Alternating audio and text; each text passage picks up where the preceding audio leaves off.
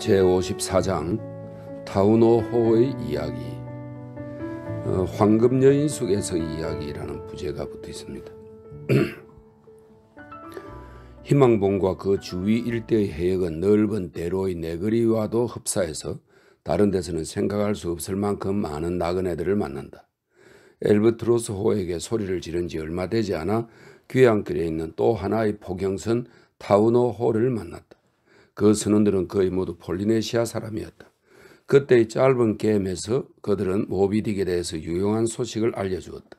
이 타우노호 사람들이 들려준 이야기에서 때때로 사람들을 덮치는 이른바 신의 심판이 놀랍게도 고래를 통해 드러난다는 사실에 암시를 받아 흰 고래에 대해서 감정적으로 자극된 사람도 있었다.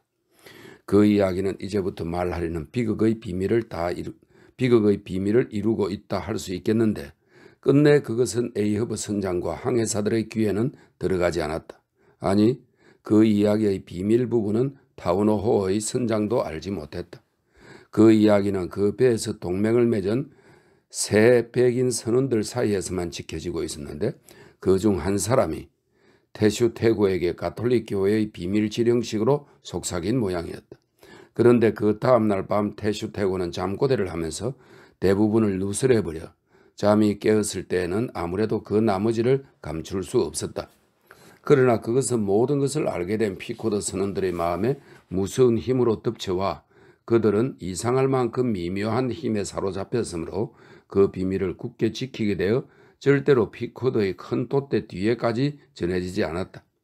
이제부터 나는 배 위에서 공공연하게 서로 주고받은 이야기 중간중간에 적당한 어두운 시를 섞어 짬으로써 그 괴이한 사건의 전모를 최후의 기록으로 남기려 한다.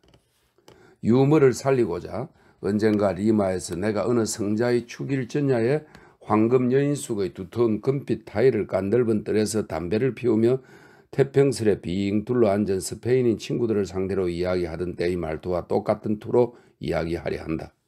그 훌륭한 신사들 중에서 젊은 페드로와 세바스티안이 나의 가까운 친구였다. 그들은 가끔 질문을 했고 그에 대한 대답도 적당히 하는 그런 형식이었다.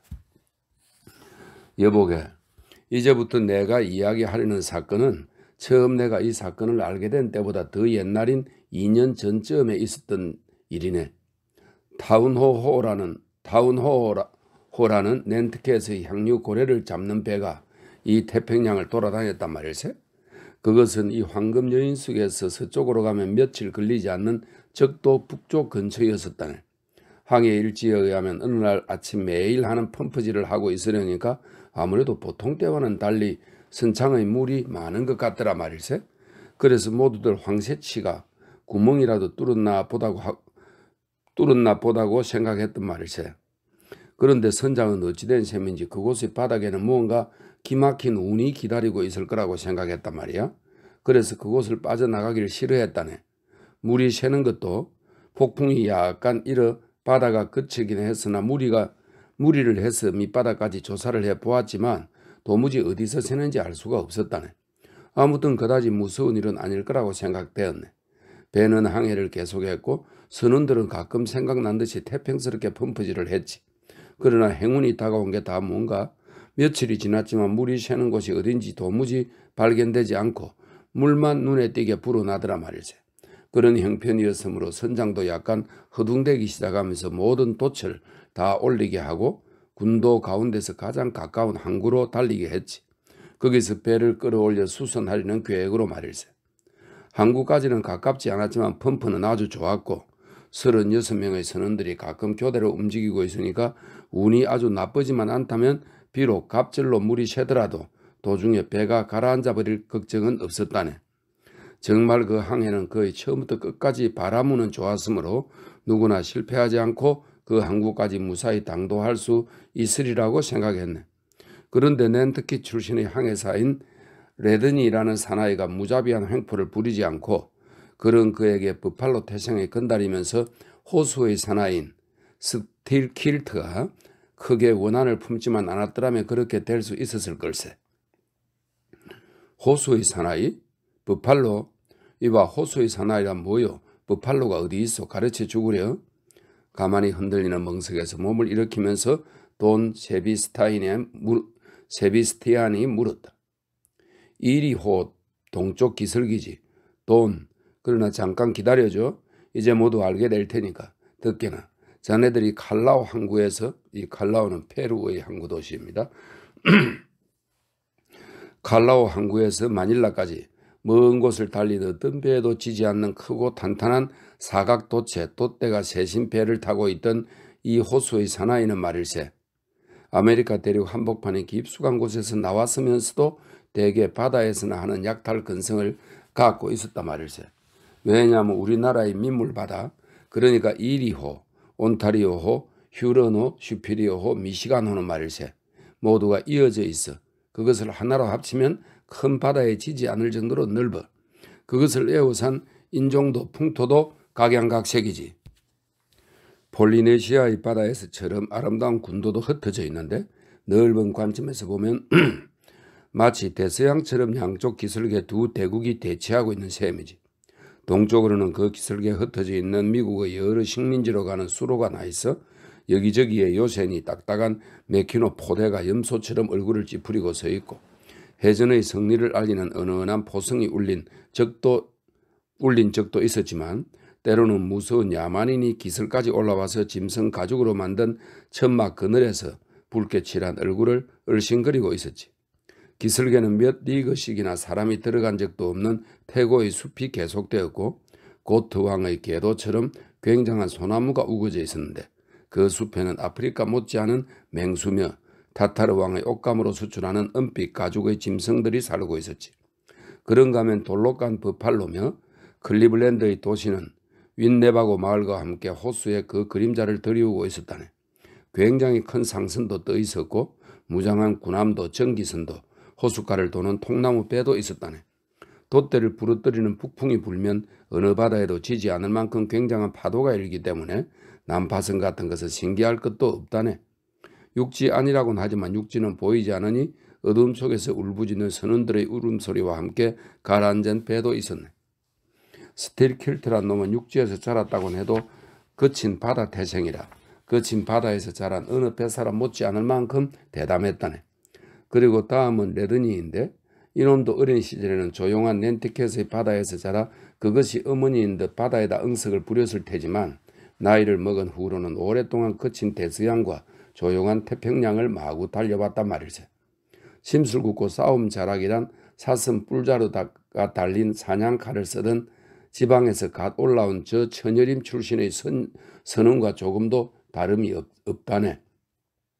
그렇지만 말일세 그 낸터킷의 사나이도 어딘가 마음이 좋은 구석이 있었고 그 호수의 사나이인 뱃사람도 악마 같은 놈임에는 틀림없었지만 아주 음하게 다스리면서도 때로는 아무리 천한 노예에게라도 마땅히 보여주어야 할 인간다운 동정심을 베풀었더니 오랫동안 나쁜 짓을 하지 않고 얌전하더라 말일세. 그런데 레드니는 벌을 받아 미치광이가 되었고 스틸 킬트는 여하튼 들어보게나 타우노호가 섬 항구로 뱃머리를 돌리고 나서 겨우 하루나 이틀을 지났을 때 다시 또 물이 심하게 샜는데 그래도 매일 한두 시간 펌프질을 하면 되었다네. 자네들도 알겠지만 대서양 같은 문명의 바다에서 항해할 때에는 내내 펌프질을 한다는 것을 그다지 중요하게 생각하지 않는 성장도 있지만 졸립고 잔잔한 밤에 당직 선원이 그 일을 멍청하게 잊기라도 하면 선장뿐 아니라 그 배에 타 선원 모두가 그 일을 두 번 다시 생각해 내지 못하게 되는 걸세. 선원들 모두가 살그머니 바다 밑으로 가라앉아 버리, 버리게 될 테니까. 아니 자네들이 있는 데서 훨씬 서쪽의 쓸쓸하고 거친 바다에서는 상당히 오래 항해하더라도 어떻게든 접근할 수 있을 만한 바다가 있다든가 그렇게 알맞은 피난처가 있기만 하다면 덜커덩거리는 펌프질을 줄곧 한다는 것은 그다지 신기할 것도 없어. 다만 새는 배가 새는 배가 항로에서 벗어나고도 해면의 육지를 전혀 느낄 수 없는 곳에 왔을 때나 비로소 선장이 조금 걱정할 정도니까 말일세. 타우노호도 대개는 그랬다네. 두 번째로 물이 많이 새는 것을 발견한 때에도 선은 몇 사람만이 잠깐 그 근심했을 정도였지. 항해사 레드니가 가장 근심했다네. 돛을 높직이 달고 순풍을 가득히 부풀게 하라고 명령했다네. 이 레든이란 사나이도 설마 겁쟁이는 아니었을 것이고 우리가 흔히 생각할 수 있는 어떤 무서움도 모르는 태평한 자에 못지않게 자기 몸의 위험에 대해 겁먹지 않는 배짱이 있었을 거라고 나는 생각하네. 그러니까 배가 위험한 것 같지 않냐고 레드니가 근심을 털어놓았을 때 저놈은 배에 투자를 한 사람 중에 하나니까 그렇게 말하는 거라고 하는 놈들도 있었다네. 그래서 그날 밤 펌프에서 뿜어나오는 거품이 가판을 흔들어 가판을 흘러서 바람을 불어가는 쪽의 배수 구멍에서 튀어나와 마치 산의 맑은 샘물처럼 찰싹거리고 발밑을 씻어 갈 때 그들은 펌프질을 하면서 그런 말을 농담 삼아 소곤거리고 있었다네. 그런데 자네들도 잘 아는 일이지만 물 위이건 어리건 이 세상의 습성으로서 말일세 명령을 하는 자가 명령을 받는 사람들 사이에서 그 인간됨이 자기보다 월등히 뛰어난 사람을 발견하게 되면 그 자에 대해서 억누를 수 없는 혐오와 시기심을 갖게 되어 기회만 있으면 그 아래 사람의 거만스러움을 끌어내려서 짓밟아 가루로 만들어 버리려 하는 법이네. 그런데 나 이런 철학이야 어쨌든 좋다 치고 스틸킬트란 놈은 체구가 당당한 훌륭한 짐승이어서 말일세. 머리는 로마 사람 같고 덥수룩한 금빛 수염은 자네들 총독의 사나운 말의 술 장식 같았다네. 재주니 정열이라 하는 정신은 모두가 말일세. 만약 샤를르마뉴 대왕의 아버지의 아들로 태어나기라도 했다면 스틸킬트 샤를르마뉴가 되었다 해도 손색은 없었을 걸세.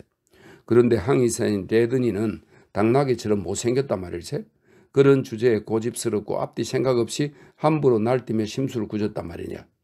레드니는 스틸킬트를 싫어했는데 스틸킬트도 그것을 알고 있었다네. 이 호수의 사나이가 여러 사람들과 함께 펌프질을 하고 있을 때 항해사가 가까이 다가오고 있는 건 알았지만 일부러 모르는 참에 겁먹지 않고 언제나처럼 터놓고 빈정거리는 말을 했다네. 이거 보기나 모두들 이거 굉장히 많이 새는군 그래? 누구 잔 좀 가져오지 않으려나? 이걸로 한 잔 하고 싶군. 아무리 보아도 병에 담을 가치는 있어. 그렇지만 모두 들어보게. 라드란 놈의 신세가 꼴 좋아지겠는걸. 자기 몫의 선체의 나무 토막이나 잘라서 집으로 가지고 가면 다행일 거야. 안 그런가? 황새치란 놈이 일을 막 시작한 모양인데 이번엔 배목수 고기니 목탁 수구리니 쥐치 같은 악당들을 데리고 와서 여럿이 합세해서 배 밑을 뚫고 자르고 하는가 본데 몹시 속력을 내는 것 같아. 점점 성과를 거두는 모양이야. 라드가 여기에 왔다면 뛰어들어가서 쫓아버리라고 가르쳐주고 싶군 그래. 모처럼의 재산이 소용없어지면 안 되거든. 그래도 그 라드란 늙은이는 사람이 좋아. 그리고 잘생겼지. 그자는 이 배 외에도 거울 제작에도 투자를 한다더군. 나같이 못생긴 사람에게 코 모양이라도 잠깐 빌려주지 않을까? 이놈아, 펌프질을 하지 않고 뭘 하는 거야? 레드니는 선원의 말을 못 들은 채하고 마구 소리를 질렀다네. 힘껏 해. 네네. 스틸킬트는 기뚜기, 기뚜라미처럼 명랑했지. 힘껏 하란 말이야 모두. 그러자 쉰개가 되는 펌프가 갑자기 소방 펌프처럼 움직이기 시작했고 모두들 모자도 벗어 던졌지. 잔뜩 긴장해서 열기를 내뿜다 보니 헐떡거리는 숨소리까지 들릴 정도였다네. 간신히 모두가 펌프 옆을 떠났을 때 호수의 사나이는, 사나이는 숨을 헐떡이며 양묘기가 있는 데까지 가서 털썩 주저앉았는데 얼굴은 불처럼 타오르고 눈엔 핏발이 서고 이마에선 땀이 비오듯 흘러 그 땀을 닦고 있었네. 그런데 그때 레드니가 숨이 턱에다 헐떡이는 사나에게 덤벼든 것은 도대체 어떤 검은 악마에 씌워졌는지 모르겠지만 아무튼 그렇게 되어버렸다네. 화가 나서 가판을 걸어온 그 항해사가 명령한 것은 비를 들고 가판을 쓸으라. 그리고 마구 돌아다니게 했던 돼지가 사방에 흩어져 놓은 오물을 삽으로 치워라 하는 것이었다네. 그런데 항해 중 가판을 싣는 것은 폭풍이 불지 않는 한은 매일 저녁 반드시 해야 할 정해진 일로 바야흐로 침몰하려는 배라도 게을리 해서는 안 된다는 규칙이 있다네. 이것이야말로 바다의 습관의 엄중함이란 것과 배 사람의 청결성을 나타내는 걸세. 물에 빠져 죽기 전에 얼굴을, 얼굴을 씻어주지 않으면 마음이 개운치 않다는 사람까지 있을 정도일세. 그러나 어떤 배에서도 이 비질이란 을의 급사들이 하기로 되어 있는 법일세. 게다가 지금 이 타운호호에서 펌프 담당으로 반을 편성한 것은 힘센 사람들 뿐이었는데 스틸킬트는 그자들 중에서도 가장 힘센 사나이였으므로 당연히 대장이 되어 있었다네. 그러니까 순수한 항해의 일 이외의 자질구레한 일 따위는 하지 않아도 되었다네. 그 동료들도 마찬가지였고 내가 이런 말을 하는 것은 지금 두 사나이의 사이가 정말 어느 정도에 이르고 있는가를 알아주었으면 해서 하는 걸세. 그뿐 아닐세. 삽질을 하라는 명령은 그야말로 노골적으로 스틸킬트를 면전에서 모욕한 일, 즉 레드니가 얼굴에 침을 뱉은 것이나 다름없었네. 포경선에 탄 사람이라면 그걸 모를 리가 없네. 호수의 사나이는 그 항해사가 명령을 지껄였을 때 그 뜻과 그보다 더 깊, 깊은 속뜻까지 낱낱이 알아차렸다네. 그러나 한동안은 조용히 서서 악의에 불타는 항해사의 눈을 가만히 응시하고 상대의 몸속에 산처럼 쌓인 화약 상자의 도화선이 서서히 타들어가고 있다는 것을 알아챘어. 그런 것을 육감으로 알아냈을 때 생기는 예의 기묘한 참을성, 이미 잔뜩 화가 나 있는 상대에게 이 이상 미친 사람 같은 흉내를 내지 못하게 하려는 마음. 이런 마음씨는 정말 용기 있는 자만이 몹시 학대받았을 때에도 뱃속에 지니고 있는 모양인데 바로 이 걷잡을 수 없는 유령 같은 감정이 스틸킬트에게도 흘러 들어왔다고 생각해 주게나. 그러니까 조금 전에 피로로 숨이 약간 헐떡거리긴 했지만 평소와 다름없는 의조로 갑판 청소는 자기가 할 일이 아니니까 안 할 생각이라고 대답했다네. 그러고 나서 사빌에 대해서는 아무 말도 하지 않고 청소부로 정해진 세 사람이 펌프질도 하지 않았기 때문에 그 하루 종일 빈들거리고 있는 것을 손가락으로 가리켰지. 그러자 레드니는 단호히 명령을 되풀이하면서 화가 잔뜩 나 덤비는 듯한 태도로 마구 욕을 퍼붓고는 조용히 있는 호수의 사나이에게 바싹 다가가며 옆에 있는 상자에서 쥐고 온 통장이의 나무망치를 한 손으로 번쩍 쳐들었다네. 고된 펌프질을 해서 땀에 흠뻑 젖은 스틸킬트의 몸은 후끈 달아올라 있었고 다소 짜증이 나 있기도 해서 처음에는 참을성도 있었지만 항해사의 그 태도를 보고는 참을 수 없다고 느꼈다네. 그러나 어떻게든 몸속에 소용돌이 치는 분을 누르며 아무 말도 하지 않고 그 자리에 뿌리를 박은 것처럼 서 있는데 레르니는 끝내 무서운 기세로 명령대로 하라고 고함을 치며 얼굴에 닿을 듯이 망치를 휘둘렀다네.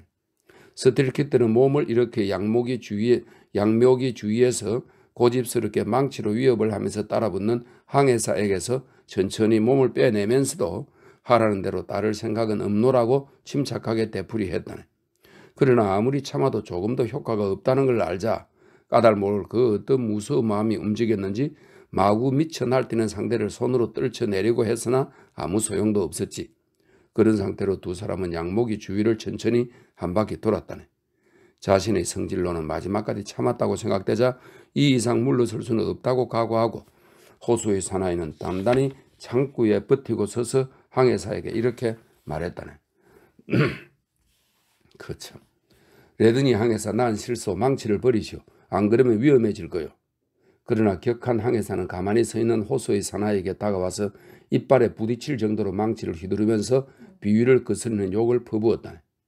스틸킬트는 한치도 물러서지 않고 상대의 눈을 찌를 듯이 매서운 눈빛으로 쏘아보면서 등 뒤로 돌려 움켜쥔 오른손을 당기면서 협박자를 향해 그 망치가 나의 뺨을 조금 스치기라도 하면 너의 목숨은 없다고 말했지. 그러나 그 바보는 신께 버림받아 죽을 운명이었던가 보더군. 망치가 뺨을 스치는 순간 그 항해사의 아래턱에서부터 머리통이 깨져버렸다네. 그는 털썩 고래처럼 피물, 피를 뿜으면서 창구로 쓰러지고 말았네. 고함 소리가 고물에까지 닿기 전에 스틸킬트는 밧줄을 흔들면서 높은 돛대 꼭대기에는 두 명의 동료가 있는 대로 올라가려 했네. 두 사람 다 운하의 사나이였다네. 운하인이라니 돈 페드로가 외쳤다. 그 근처엔 포경선은 많이 들어오지만 운하인이라는 말은 들은 적이 없네. 어떤 사람인지 말해주게나. 돈, 운하인이란 우리 고향, 일이 대 운하의 뱃사람이라네. 들어본 적 있을 텐데. 아닐세 여보게. 이곳처럼 나른하고 덥고 태평스럽고 왕관 지방에서는 자네들의 나라인 활기찬 북쪽 지방에 대해서는 전혀 알지 못한다네. 그런가 그럼 돈한 잔만 더 따라주게. 이건 무척 고급 술이군 그래. 이야기를 계속하기 전에 운하인이 어떤 자인지 가르쳐 주겠네. 그것을 알면 내 이야기도 잘 알아들을 테니까. 생각해보게 360마일에 이르는 뉴욕주의 전체 폭넓이를 말일세. 번잡한 그림이며 경기 좋은 마을이며 어디까지 계속될지 모르는 사람이 없는 늪이며 또 더없이 농사가 잘 되는 비옥한 밭들을 뚫고 나가기도 하고 당구장이나 술집 처마 밑을 지나가기도 하고 신성하기 거지없는 숲을 뚫고 나가기도 하고 인디언의 강에 걸린 로마식 아치형 다리를 지나기도 하고 양짐의 엄지를 달리고 행복한 사람이나 울고 있는 사람들 옆을 지나 결국 저 굉장한 모아크 지방의 변화무상한 경치 속을 꿰뚫기도 하고 그 중에서도 특히 이정표처럼 서 있는 새하양 교회당 첨탑 옆을 달리기도 하면서 도도히 끊임없이 흐르는 것을 말일세. 베니스처럼 타락하고 때로는 법률도 모르는 생활의 흐름이라네. 진짜 아산티인도 있을 것이고 이교도들도 있을 것이네. 그걸 어디서 볼 수 있었느냐 하면 바로 코앞이기도 했고 교회당의 긴 그림자나 기분 좋은 바람 그늘이기도 했다네. 운명의 장난인지는 몰라도 도시의 재판소의 청사 주위에 도적놈들이 모여 사는 것이 신기하지 않은 것처럼 죄인들은 신의 냄새가 풍기는 곳에 가장 많은 법이라네. 저기 지나가는 게 수도사인가? 익살맞게 목을 비스듬히 기울이고 있던 돈 페드로가 혼잡을 이룬 광장 쪽을 바라보며 말했다. 북부의 친구들은 좋아하겠지만 이 리마 거리에선 이사벨라 여왕의 재판도 이미 쇠퇴하고 있단 말이야. 돈 세바스티안이 웃었다. 다음을 이야기해 주구려. 잠깐만 기다리게. 돈 페드로가 외쳤다. 우리 리마 시민 전부를 대신해서 자네에게 말하고 싶은 게 있네. 선원 양반. 타락의 증거로 이곳 리마를 들, 들지 않고 먼 베니스를 든 친절을 우리는 결코 잊지 않을 걸세. 아니 놀라서 절까지 안 해도 좋아. 이 해안 일대의 속담은 알고 있을 걸세. 리마처럼 타락한다는 것 말일세. 그것 또한 자네가 말한 것을 입증하는 걸세. 교회당의 수가 당구대보다 많고 1년 내내 열려 있으면서도 리마처럼 타락한다는 말을 듣지. 아니 베니스도 마찬가지일세. 난 그곳에 가본 적이 있는데 그 고마운 복음을 쓰신 성요한의 성스러운 거리를 성 도미니크 님이여 정결하게 해주소서. 자네의 잔을 내밀게. 자 따르겠네. 한 잔 더 꿀꺽 마시게. 이 사람아 운하인이 하는 방법을 숨김없이 전부 말하면 굉장한 연극의 주역도 못지 않을 만큼 매우 지독하고 더할 나위 없이 나쁜 놈이 될 걸세. 안토니우스처럼 푸른 잔디와 꽃이 만발한 나일 강 위로 며칠씩이나 한가게 떠다니면서 뺨이 붉은 클레오파트라와 공공연히 희롱하거나 가판에서 살구빛 넓적다리에 볕을 쪼인다네. 그러나 해안에서는 그런 기분은 다 날려버린다네. 보란 듯이 도적의 흉내를 마구 내거나 화려한 리본이 달린 모자의 앞을 슬쩍 늘어뜨리고 있는 것도 호, 호기롭지 않나. 한단 말일세. 배가 지나는 양쪽 마을의 인심 좋고 순박한 사람들은 급에 질리고 그 검은 얼굴과 거친 말에 도시 사람들은 길을 피한다네. 사실은 나도 그 운하에서 방랑한 일이 있었는데 그 사람들 중 한 사람에게 은혜를 입었다네. 정말 고마운 사람이었네. 말할 수 없이 황송하게 생각한다네. 그렇지만 그런 폭력배들에게 그 나름대로 좋은 점이 있는 법이어서 특히 돈 많은 부자들을 약탈도 하지만 갈 곳 없는 빈털터리의 후원자가 되는 단단한 팔도 가지고 있다네. 즉, 이 운하인의 생활이 어느 정도 끝인가 하는 것을 확실히 알려면 다음 이야기로 충분할 것이. 우리 포경업에는 이 운하에서 우수한 졸업생이 아주 많이 와 있는데 시드니 사나이들 이것은 시드니는 원래 중국인 괴수의 유영지였기 때문에 이렇게 부릅니다. 시드니 사나들 사나이들 그러니까 이제 죄를 지은 사람들이죠. 시드니 사나이들만 제외하면 어느 인류의 종족이라도 그 자들만큼 위험시되는 사람들은 없다네. 그리고 말일세 그 운하를 따라 시골에서 태어난 수천 명의 소년이나 청년들의 믿음이 깊은 조용한 들릴에서부터 더할 수 없이 야만스러운 거친 바다에서 수확하는 일로 옮아가는데 바로 그 점이 우리의 호기심을 더욱 자극시키지. 알았네, 알았어. 서둘러 외치느라 그만 돈 페드로는 은백색 주름깃의 술잔의 술을 엎지르는 낭패를 보고 말았다. 여행을 할 필요가 없는 걸세. 세계가 바로 리마야. 사실 여태까지는 말일세 자네의 북쪽 집안에서는 지방에서는 인간은 모두 산처럼 차갑고 신성하다고 생각했네만 자 이야기를 계속하게나 호수의 사나이가 돛줄을 흔든 데서 이야기가 끊겼었지 늦게서야 젊은 항해사 세 사람과 작살잡이 네 사람이 가판으로 몰려 나와서 그를 에워쌌다네 그러나 마성의 해성처럼 밧줄을 타고 미끄러져 내린 두 운하의 사나이는 소란 속에 끼어들어 동료 사나이를 고물 쪽으로 끌고 달아나리 했다네 다른 선원들도 그걸 도우리고 했기 때문에 거기서 난투가 벌어졌는데 씩씩한 선장은 위험구역 밖에 서서 포경창을 휘두르며 이 극악한 놈을 잡아 한 대 먹여라. 뒷가판으로 끌어와라. 하고 선원들에게 소리 지르고 있었다. 그러고는 가끔 난토의 소용돌이 가장자리까지 와서 큰 도끼로 그 중심을 더듬어 찾으며 정오의 표적을 끌어내려 했다네. 그러나 스틸킬트와 한패인 용감한 놈들은 모두가 덤벼들어도 지지 않았네. 가까스로 앞가판에까지 물러가서 재빨리 서너 개의 큰 통을 굴려 양묘기와 나란히 놓자 이 바다의 파리 혁명, 혁명당은 바리케이트를 방패로 하고 틀어박혔다네. 야, 이 해적놈들 나와라. 선장은 고함을 치면서 조금 전 급사가 가져온 권총을 양손에 들고 위협했지. 살인자 나와. 스틸킬트는 바리케이트 위에 뛰어 올라가 여기저기를 걸으며 권총으로 무슨 짓을 하건 무섭지 않다는 태도를 보이며 선장을 향해 분명하게 나를 죽이는 날에는 곧 모든 선원의 반란의 난투극을 벌일 거라고 말했지. 선장은 그것이 실제로 일어난다면 큰일이라 겁을 먹고 약간 망설이긴 했지만 반란자를 향해서 곧 원래의 일자리로 돌아가라고 호령을 계속했네. 그렇게 하면 우리에게 손을 대지 않겠다고 약속하겠소? 스틸킬드가 물었다. 제자리로 돌아가라. 약속은 하지 않아. 돌아가라. 일을 내버려 두고 이게 뭔가? 배가 가라앉아도 좋단 말인가? 돌아가라. 선장은 또다시 권총을 쳐들었지. 가라앉아요? 스틸킬드가 외쳤다네. 음, 가라앉는 게 좋을 거요. 당신이 우리에게 밧줄 한 가닥도 들이대지 않겠다고 약속하지 않으면 한 사람도 돌아가지 못할 줄 알아. 어떤가 다들? 그리고 그는 동료들을 돌아보았네. 모두들 크게 환성을 올리며 그 말에 호응했지.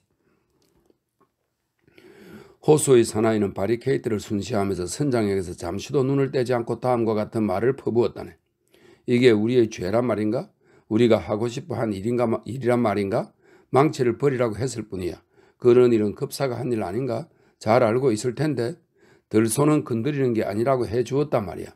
저주받은 저놈의 턱 때문에 내 손가락이 한 개 부러졌어.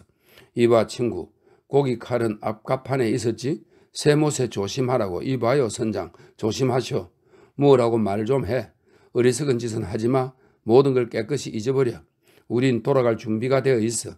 난폭하게 굴지만 않으면 말이야. 말 않으면 말이야 잘 듣지. 그렇지만 매를 맞을 생각은 없어. 돌아가 약속은 안 해. 돌아가라니까. 이봐 이봐. 호수의 사나이는 팔을 흔들어 대면서 고함을 쳤다네. 여기 동료들이 몇 사람 있는데 말이야. 나도 그 중 한 사람인데 즉 한 항해만 할 약속으로 이 배를 탔다는 건 알고 있을 테지. 그런데 그래서 말인데 선장님 닻을 내리기만 하면 그만두어도 좋을 것 아니겠소? 그러니까 소란을 떨고 싶지 않단 말이오. 그런 것은 재미없으니까. 우린 조용히 끝내고 싶단 말이오. 언제나 부지런히 일할 거요. 그렇지만 매를 맞고 싶지는 않아요. 돌아가. 선장은 여전히 소리쳤지. 스틸킬드는 잠시 주위를 돌, 둘러보고 나서 말했네. 선장, 사실을 잘 따져 말하자면 말이오. 당신을 죽이거나 저런 하찮은 놈 덕분에 목이 매달리고 싶진 않아. 당신 쪽에서 덤벼 들지만 않는다면 우리도 당신한테 덤빌 생각은 없어. 그렇지만 당신이 매질하지 않겠다고 약속하지 않는 한 일 같은 건 안 할 거야. 좋아. 앞갑판으로 내려와. 내려오라니까. 신물이 날 만큼 거기 쳐넣어 둘 테다 이놈아 내려와. 어떻게 할까? 스틸킬트가 일동에게 물었다네. 대다수가 반대했지만 마침내는 스틸킬트 킬트의 말을 쫓아 그보다 앞서서 굴 속에 들어가는 곰처럼 어두운 앞갑판 밑으로 어르렁거리면서 사라졌다네. 모자를 쓰지 않은 호수 사나이의 머리가 갑판 판자와 수평으로 되었을 때 선장과 일당들은 바리케이트 위를 뛰어넘어 구멍의 뚜껑을 급히 닫고 그곳에 일당들을 있게 한 후 급사를 불러서 가판 성강구 계단에 달려있는 큼직한 노쇠 자물쇠를 가지고 오게 했지. 그러고 나서 뚜껑을 조금 연 선장은 그 틈으로 아래를 향해 무어라고 말하고 나서 다시 뚜껑을 닫고 쇠를 잠가 모두 10명을 가두었고 가판에는 지금까지 중립을 지키고 있던 20명 가량의 사람들만 남게 되었지. 밤새도록 고급 선원들 모두가 한 잠도 자지 않고 앞가판과 뒷가판, 특히 배전의 창문과 앞쪽 창구를 감시하면서 반란자들이 아래에서 칸막이 벽을 깨뜨리고 뛰쳐나오는 것을 경계했지. 그러나 아무 일도 없이 밤은 지나가고 일을 맡고 있던 자들은 열심히 펌프질을 하고 그 덜컹거리는 소리는 이따금 기분 나쁜 어둠을 깨뜨려서 온 배 안에 불길한 울음을 퍼뜨리고 있었다네. 해가 뜨자 선장은 앞가판으로 가서 판자를 두드리며 일자리로 되돌아가라고 죄수들에게 말을 걸었는데 사람들은 일제히 고함을 치며 거절했다네. 그래도 물을 매달아서 내려주고 두 주먹 사이에 비스킷도 던져 주었지. 그러고 나서 선장은 쇠를 잠그고 열쇠를 호주머니에 넣자 뒤쪽으로 돌아갔지. 사흘 동안 하루에 두 번씩 이 일을 되풀이했어. 그런데 나흘째 되는 날 아침 전과 같이 점검을 하려는데 싸우고 난투하는 소리가 어지럽게 귀에 들려오더니 밑에서 갑자기 네 사람이 뛰쳐나와서 일하겠노라고 말했다네. 숨막힐 듯 답답한 분위기며 굶어 죽기에 알맞은 음식이며 더구나 마지막에 잔뜩 벌을 받게 되리라는 공포로 이자들은 생각 끝에 항복하지 않을 수가 없었던 걸세. 이에 힘을 얻은 선장은 남은 자들에게도 명령을 되풀이했는데 스틸킬트가 끔찍한 말을 늘어놓으며 그만 지껄이고 물러가라고 악을 썼다네. 다섯째 되는 날 아침 다시 반란자 세 사람이 한사코 말리는 팔을 뿌리치고 바깥으로 뛰어나왔지. 남은 자들은 세 사람뿐이었네. 이렇게 되면 나오는 편이 나을 걸 선장이 냉담하게 비웃었지. 뚜껑을 닫으라고 했잖아. 스틸킬들은 외쳤네. 오 좋아. 선장은 이렇게 말하고 쇠를 덜컹 잠갔지.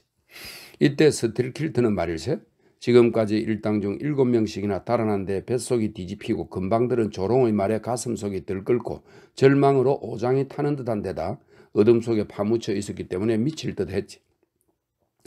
그래서 아직 그 자기와 뜻을 같이 한 남아있는 두 명의 운하인에게 다음에 점검하러 오면 이 구멍에서 뛰쳐나가 제각기 고기 칼을 휘두르면서 고기 칼은 양쪽에 자루가 달린 긴 반달형의 무서운 칼이랍니다. 휘두르면서 첫째 돛대부터 고물 난간에까지 달려가 배를 빼앗아 보지 않겠느냐고 제안했다네. 너희들이 함께 하든 안 하든 나 혼자서라도 하겠다고 말했지. 이런 굴 속에서 자는 것도 이제 마지막이라고. 두 사람도 그 계획에 반대하지 않고 항복하는 게 아니라면 그보다 심한 것이라도 하겠다고 했단 말일세. 아니 그뿐 아니라 돌격하는 순간 제일 먼저 갑판으로 뛰쳐나갈 자는 자기가 되어야 한다고 서로 주장했지. 그러나 스틸킬트는 절대로 안 된다고 하면서 선두는 바로 나야. 특히 너희들 둘 다 양보하지 않으면 사다리는 한 사람밖에 오를 수 없으니까 둘이 나란히 선두가 선두에 설 수도 없다고 말렸단 말일세. 결국 이렇게 해서 무리한들의 나쁜 업무가 생겨나게 되었네. 스틸킬트가 마구 반대하는 것을 보았을 때 두 사람은 동시에 각기 마음속에 나쁜 음모를 생각해낸 모양일세. 다시 말해서 10인조의 마지막 임에 틀림없었지만 세 사람 중에서 제일 먼저 튀쳐나가 항복하고 그 공으로 조금이라도 유리한 항복 조건을 얻겠다는 거였네. 그러나 스틸킬트가 끝까지 모두의 선두에 서겠다는 의사를 단호히 나타냈을 때 두 사람 사이에 어떤 엉큼하고 교활한 기류가 흘렀는지 서로 숨기고 있던 배신의 계략을 맞춰볼 수 있었, 지 스틸킬트가 끄떡거리고 졸기 시작하자 두 사람은 서너 마디로 속을 털어놓고는 누워있는 그에게 밧줄로 결박을 지은 뒤에 재갈을 물리고 나서 한밤중에 선장을 불렀다네. 이크 살인이다. 피비린내가 어둠 속에 풍긴다고 생각하면서 선장과 무장한 고급 선원들과 작살잡이들이 앞가판으로 달려왔지. 이어고 뚜껑이 열리자 손발을 묶인 채 몸부림치고 있는 스텔킬들을 간악한 동지들이 위로 던졌다네. 그러고 나서 살인을 계획한 이 사나이를 이렇게 붙잡은 공을 잊 지 말아달라고 했단 말일세. 그러나 그놈들도 붙잡혀서 죽은 가축처럼 가판위를 끌려다니다가 새 조각의 고기 덩어리처럼 나란히 뒤 돛대줄에 묶여 아침까지 매달려 있었다네. 나쁜 놈들. 그 앞을 왔다 갔다 하면서 선장은 마구 고함을 쳤지. 이 악당 놈들의 고기는 독수들도 먹겠다고 하지 않을 거야. 아침이 되자 전원을 소집시킨 선장은 반란에 가담한 자들을 가담하지 않은 자들 가운데서 가려내어 그들에게 말했지. 모두 매질을 할 생각이다. 곰곰이 생각해 보았는데 그렇게 하지 않으면 직성이 풀리지 않겠다. 그렇게 해야 정의가 세워지는 거야. 그러나 빨리 항복했다는 걸 생각해서 당분간은 훈계만으로 크게 보아주겠다. 이런 말들을 고향 사투리를 써서 일장 연설을 했다네. 그러나 너희들 썩은 고기들은 밧줄에 매달린 세 사람을 돌아보면서 그는 말했지. 토막토막 난도질을 해서 기름 솥에 던져줄 테다. 그 다음 밧줄을 움켜쥐고 힘껏 두 배신자의 등을 후려쳤다네. 그들은 곧 울부짖을 힘도 없어 십자가에 묶인 두 도둑들처럼 목을 축 늘어뜨리고 죽은 듯이 매달려 있었다네. 이제 내 팔목이 삘것 같다. 선장이 드디어 외쳤다네. 그런데도 항복하지 않는단 말이냐 이 금방진 놈아. 너 놈을 해치울 밧줄은 아직 남아있어. 이놈의 재갈을 벗기고 어떤 소리를 지르는지 들어주자꾸나. 지쳐버린 모반이는 잠시 턱을 떨고 있더니 이었고 아픈 듯이 목을 비틀면서 목신 소리로 말했다. 내 말은 이거다. 조심해라. 매질만 하면 죽이고 말 테다. 아가리를 놀렸겠다. 게다가 나를 협박했겠다. 선장은 밧줄을 잡고 때리려 했다. 안 하는 게 좋을 걸? 호수의 사나이가 빈정거렸네. 하고 말 테다. 그는 밧줄을 다시 뒤로 당겨서 후려치려고 했네. 이때 스틸킬드가 뭐라고 목신 소리로 말했는데 선장에게만은 들린 것 같았지. 그러자 놀랍게도 선장은 깜짝 놀라면서 뒤로 물러서더니 두 서너 번 갑판을 왔다 갔다 하다가 갑자기 밧줄을 던지면서 말하지 않겠나. 난 못하겠어. 이봐 이놈을 풀어주라 끌어내려. 그래서 젊은 선원들이 서둘러 그 명령대로 하려고 했을 때 머리에 붕대를 감은 창백한 남자가 그들을 멈추게 했다네. 그는 1등 항해사 레드니였다네. 얻어맞은 뒤로 줄곧 자리에 누워 있었는데 이날 아침 이 갑판에서의 소란을 듣고 살그머니 기어 나와서 지금까지의 모든 장면을 지켜보고 있었던 걸세. 입은 엉망이 되어 있었으니까 그의 말을 할 수는 없었지만 뭐라고 중얼거렸는데 자기가 하고 싶다. 선장은 감히 할 수 없어도 자기가 해 보이겠다는 것 같더군. 그는 밧줄을 잡고 묶인 원수에게 다가갔다. 비겁한 놈. 호수의 사나이는 씩씩거리며 말했네. 그렇다. 그렇지만 한 대 먹어라. 항해사가 한 대 때리려 했을 때 다시 씩씩거리는 소리가 들리더니 지키던 팔이 멈춰섰네. 잠깐 망설였지만 어떻게 돼도 모르겠다는 것, 다는 듯 아무튼 스틸킬트의 협박도 두려워하지 않고 말대로 해치웠지. 그래서 세 사람은 놓여나고 선원들은 일을 시작하고 사람들이 시무룩하게 움직이는 무쇠 펌프는 전처럼 덜컹거리고 울렸다네. 간신히 그 날이 저물고 망보던 한 사람도 아래로 내려왔을 때 앞가판 밑에서 소란한 소리가 들리더니 배신자 두 사람이 벌벌 떨며 달려나와서 선장실 문에 매달려 동료들과 함께 일을 못하겠다고 했다네. 타일르도 발길질을 해도 돌아가려 하지 않았기 때문에 그들의 뜻에 따라 고물에 가두어 두고 구해주기로 했지. 그런데 남은 자들이 반란을 일으킬 듯한 낌새는 더욱 없더란 말일세.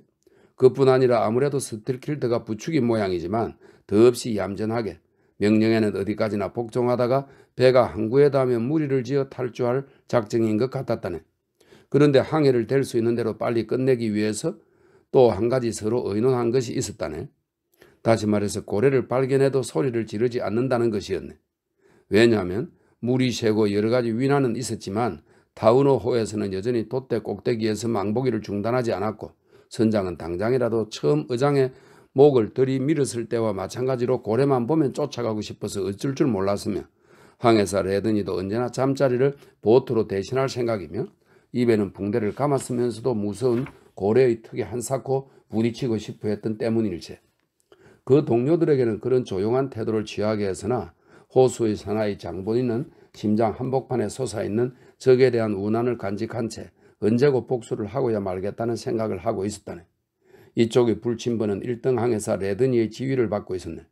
그런데 바보처럼 되어 있던 그 사나이는 스스로 파멸에 빠지고 싶었던지 저 돛줄 아래에서 일어난 사건 후에도 선장이 몹시 말리는데도 듣지 않고 무슨 일이 있어도 불침번의 계획을 하겠다고 우겼다네. 그리고 계속 스틸킬트는 치밀하게 그 복수 계획을 세워갔단 말일세. 밤이 되면 레드니는 뱃사람답지 않게 뒷갑판 뱃전, 뱃전에 앉는 버릇이 있었는데 그 뱃전에서 약간 높이 매달아 놓은 보트의 뱃전에 팔을 걸치고 앉았다네. 그런 자세로 가끔 잠이 든다는 것도 모두 알고 있었지. 보트와 배와의 사이는 꽤 벌어져 있고 그 사이 밑은 바다야. 스틸킬트는 시간을 계산해 보았는데 이번에 키 앞에서 당직하는 것은 배신당한 날로부터 사흘째 되는 날 새벽 2시임을 알았네. 가판 밑의 불침번을 서면서 한가할 때면 매우 정성들여 무언가를 짜면서 시간을 보냈지. 거기서 뭘 하는 건가? 동료가 물었지. 뭐라고 생각하나? 몰라 보, 뭘로 보이지? 자네 수장할 때 쓸 밧줄인가? 그렇지만 내겐 이상하게 보이는걸?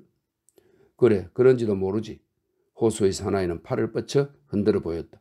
그렇지만 충분할 걸세. 이복에 실이 조금 모자라는데 자네 좀 없나? 앞가판 밑엔 조금도 없던걸. 그렇다면 레든이 한테서 얻어와야지. 스틸킬트는 일어나서 뒤쪽으로 걸어갔다네. 그자에게서 얻어와 자네 제정신인가? 선원이 말했네. 어떤가? 이건 말일세. 언젠가는 그자에게 소용되는 거라네. 조금 좀 도와주어도 좋을 걸세. 라고 말하면서 그는 항해사에게로 가서 조용히 얼굴을 들여다보며 해먹을 고칠 꼰실을 조금만 달라고 했다네. 레드니는 주었지. 그러나 꼰실도 그 밧줄도 그 뒤엔 보이지 않았다네. 그러나 다음날 밤 호수의 사나이가 베개 대신 옷을 해먹 안에 집어넣었을 때 재킷 호주머니에서 망으로 단단히 잡아맨 쇠공이 조금 굴러 나왔다네. 24시간 후 키 주위의 조용한 곳에서 1년 내내 뱃사람을 위해 파놓은 무덤 바로 위에서 잠들려 하고 있는 사나이 바로 가까이에서 최후의 시간이 오게 되어 있었지. 앞일을 예정한 스틸킬트의 마음속에서는 항해사가 이미 이마가 깨지고 시체처럼 굳어져서 뻗어, 뻗어 있었다네. 그렇지만 뜻밖에도 어느 바보가 이 살인 미수자가 계획한 피비린내 나는 범행을 저지르지 않게 해주었네. 더욱이 완전히 복수를 하고도 스틸킬트 자신은 보복자가, 보복자가 되지 않았다네. 그것은 어떤 신비한 운명에 의해 하나님 자신의 손으로 한 것과 같았네. 이틀, 이틀째 되는 날 새벽 하늘이 훤해지고 해가 솟으려 하여 여러 사람이 가판을 씻고 있을 때큰 돛대 정색판이 있는 데서 물을 길어 올리던 바보스러운 테네리프 사나이가 갑자기 외쳤네. 고래다 고래다. 과연 굉장한 고래였다네. 모비딕이었어. 모비딕? 돈 세바스티안이 외쳤다. 성 도미니크님이여 제발 선원님 고래도 이름이 있나? 모비딕이라 말인가? 돈 몹시 하얗고 유명한 그리고 무섭기 짝이 없는 불사신의 괴물이라네. 그러나 그 고래의 이야기를 하자면 너무 길어지네. 듣고 싶은 걸 듣고 싶어. 젊은 스페인 사람은 바싹 다가 앉았다. 아니 이 사람은 안 되네 안 돼. 그 이야기를 하면 끝이 없네. 제발 좀 숨을 쉴 수 없잖나? 술이다 술. 돈 페드로가 외쳐댔다. 우리 용감한 친구가 기절할 것 같은데 그 잔에 가득 따라주게나. 이제 됐어. 이 사람아 잠깐 기다려주게. 이야기를 계속 할 테니까. 배에서 50야드도 떨어지지 않은 저편에 눈처럼 흰 큰 고래가 불쑥 나타났기 때문에 동료들과 약속도 잊어버리고 테네리프 사나이는 너무 흥분해서 자신을 잊고 본능적으로 괴물을 보았다고 소리를 질렀네. 그러나 사실은 며칠 전부터 새 꼭, 꼭, 돛대 꼭대기에 있는 자들은 보면서도 잠자코 있었던 걸세. 아무튼 그때는 그야말로 광난 상태였지. 모비딕이다 모비딕이다. 선장도 선원들도 작살잡이들도 외치면서 무서운 소문에도 겁내지 않고 이 희대의 유명한 고래를 잡으려고 날뛰었다네. 한편 뒤를 쫓던 선원들도 곁눈질로 그쪽을 쳐다봤는데 푸른 아침 파도 속에 잠긴 오팔처럼 반짝반짝거리며 수평으로 비치고 있는 햇빛에 눈부시는 빛나는 그 밀크빛 산은 기막힐 정도로 훌륭한 것이었다네. 이 사람들아 이 이야기의 처음부터 끝까지는 이상한 운명의 손이 꿰뚫고 있어서 말일세. 마치 이 세상이 만들어지기 전부터 모든 순서가 정해져 있는 것처럼 생각될 정도일세. 그 모반이는 1등 항해사의 노잡이어서 고래를 쫓아갈 때에는 레드니가 창을 들고 뱃머리에 서면 옆에 앉아서 그의 명령이 떨어지기가 무섭게 밧줄을 당겼다 늦추었다 하는 게 그 역할이었단 말일세. 때마침 1등 항해사의 보트가 내려진 보트 내측 앞에서 달렸는데 스틸 킬트만큼 노를 저으면서 굉장한 환성을 질러댄 사람은 없었네. 작살잡이가 힘껏 저으면서 작살을 던졌을 때 레드니는 창을 쥐고 뱃머리로 뛰어나갔지. 일단 보트를 타면 말할 수 없이 날쌘 게 이 사나이의 특징이었지. 붕대를 감은 입으로 고래 등 위에 자기를 올려놓으라고 외쳤다네.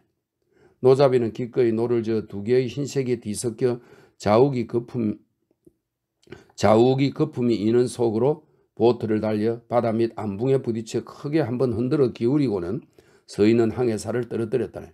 항해사가 미끈미끈한 등에 떨어진 순간에 보트는 원래의 자리로 돌아가 출렁이는 물결에 밀려서 떨어져 갔지. 그런데 레드니는 고래 옆 저쪽 파도 속으로 굴러갔단 말일세. 물방울이 마구 튀는 속으로 헤엄쳐 자욱한 물보라 속에 얼핏 모습을 드러냈을 때는 모비딕의 눈에서 달아나리고 필사적인 몸부림을 치고 있었네. 그러나 고래는 큰 소용돌이를 일으키며 한 바퀴 빈걸 돌고 나서 턱으로 레드니를 문채 아, 하늘 높이 솟구치더니 그 다음 거꾸로 곤두박질을 해서 물속으로 사라지고 말았네. 한편 호수의 사나이는 보트 바닥에 크게 삐걱거리는 소리를 내자 밧줄을 늦추고 소용돌이에서 후퇴하여 달아나며 조용히 이런 광경을 바라보면서 마음속으로 계략을 꾸몄지. 그러나 보트가 갑자기 무서운 기세로 아래로 당겨졌기 때문에 재빨리 나이프를 꺼내 밧줄을 끊었다네. 결국 고래는 달아나 버렸지. 잠시 후 꽤 멀리 떨어진 곳에 모비딕은 다시 떠올랐는데 레드니를 뒤씹은 이빨에는 빨간 양모 셔츠 조각이 끼어 있었다네. 네 척의 보트는 다시 한번 추적하기 시작했지만 고래는 슬쩍 빠져나가서 끝내 두 번 다시는 나타나지도 않았다네. 그 후 얼마 안 있어 타우노호는 어느 항구에 당도했는데 쓸쓸한 야만지여서 문명인 따위는 한 사람도 없는 곳이었다네. 거기서 호수의 사나이가 선동하고 나서자 선원들은 대여섯 명을 빼고는 거의 모두 교묘하게 야자나무 숲속으로 달아나 버렸다네. 나중에 안 일이지만 그들은 야만인의 전투용 이중 통나무 배를 보기 좋게 빼앗아서 어딘가의 항구로 가버렸다네. 배에 남은 선원은 대여섯 명 정도밖에 되지 않았기 때문에 선장은 섬의 토인을 찾아가 물 새는 곳을 막기 위해서 배를 뒤집는 어려운 일을 돕게 하려고 했다네. 그런데 몇 사람 되지 않은 백인으로 이 위험하기 짝이 없는 사람들을 밤낮으로 꼬박 지켜야 했고 게다가 일은 매우 어려운 일이었으므로 배가 다시 바다로 떠나려고 했을 때는 모두 녹초가 되어버리고 말았다네. 이런 무거운 배를 이 사람들만으로 출범시킬 용기는 선장에게도 없었다네. 선장은 항해사들과 의논한 후 배를 댈 수 있는 대로 해안에서 먼 곳에 띄우고 대포에 탄환을 재어 이 물에 대포 두 문을 내밀고 고물에는 소총을 나란히 놓았지.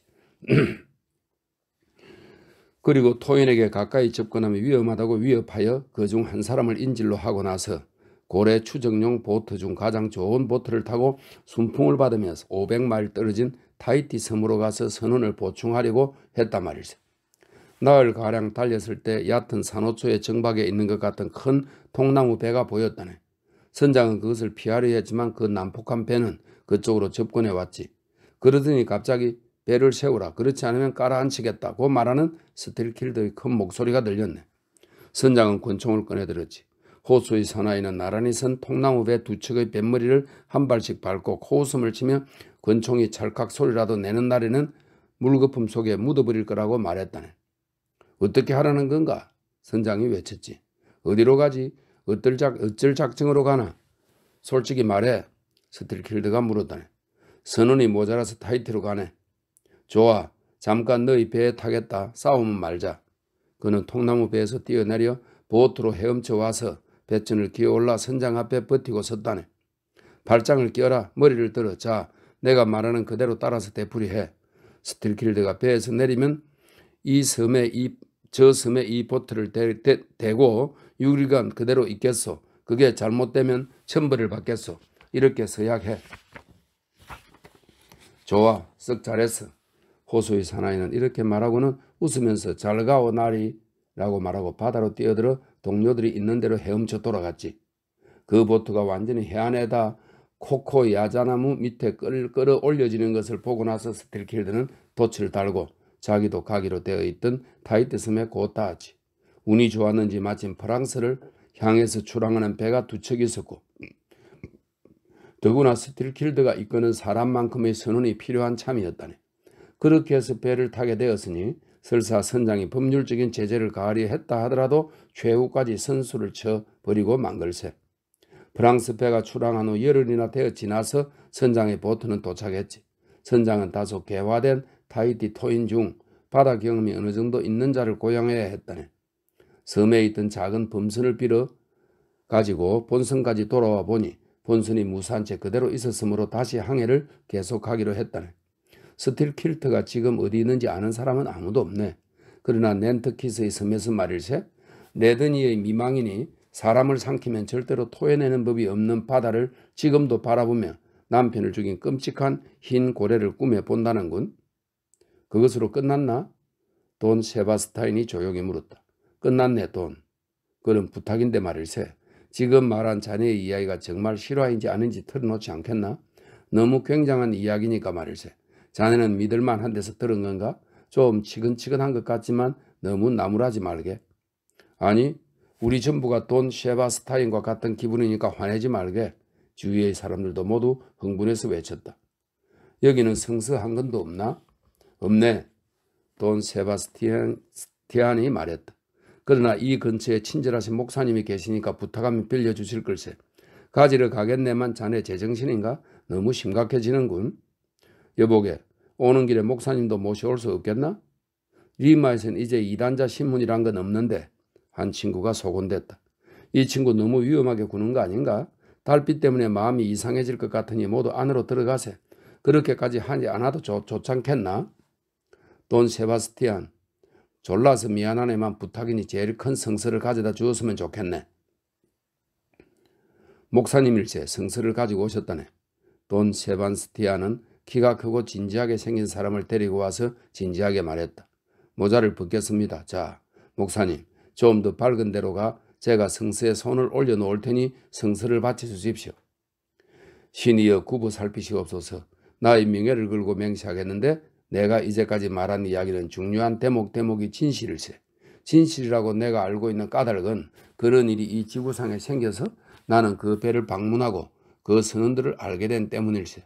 나는 레드니가 죽은 뒤에 스틸 킬드를, 킬트를 만나서 이야기도 했다네. 예, 이렇게 해서 제54장이 끝났습니다.